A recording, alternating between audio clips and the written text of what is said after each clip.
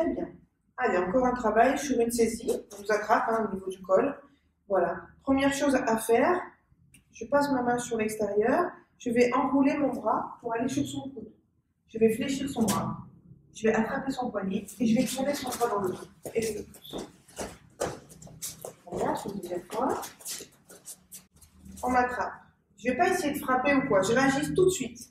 Un, j'enroule, je contrôle, je maîtrise.